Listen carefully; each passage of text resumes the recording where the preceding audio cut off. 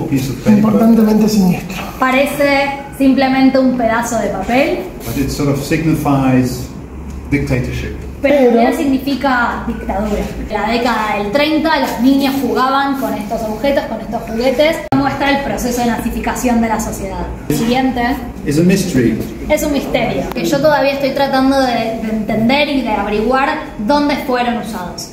En los campos de en los campos de concentración los distintos prisioneros tenían distintas formas de ser marcados o de ser identificados. So, for example, red is political, Por ejemplo, rojo es presos políticos, green is asocial.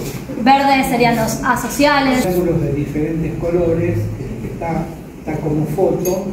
Vamos a tener ahora este, esos triángulos eh, originales.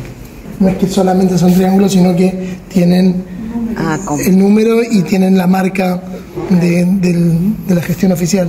So the, the numbers are quite low, Los números son bastante and bajos there's an there's an age whi- which means that the people were from the Netherlands. y, la, y tienen, los triángulos tienen una H que significa que esos prisioneros eran de Países Bajos. Next one is uh, ration coupons. Yes. Este nuevo objeto, este siguiente objeto son cupones de racionamiento. Can I just look at the date? Se puede ver eh, la fecha. So it's from 9 de July. julio al 5 de agosto. Yeah. So it's 1944. So it's ration coupons during the war. You had to buy food with ration coupons, and so this this would be uh, a very important link to the to the helpers of those in hiding.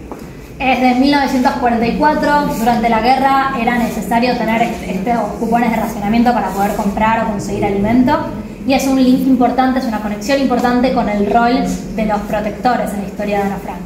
Para poder tener o recibir estos cupones era necesario que vos tuvieras un pasaporte o algún documento que diera cuenta de tu identidad. And of course, those in hiding didn't have such a card.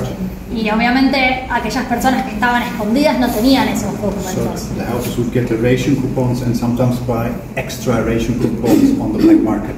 Y los protectores tenían sus cupones de racionamiento y a veces tenían que comprar incluso extras o cupones de racionamiento extras en el mercado negro. Seems like books, but in one there's a radio, Y acá tenemos a la derecha son dos libros, parecen simplemente Parecen libros, dos libros, pero.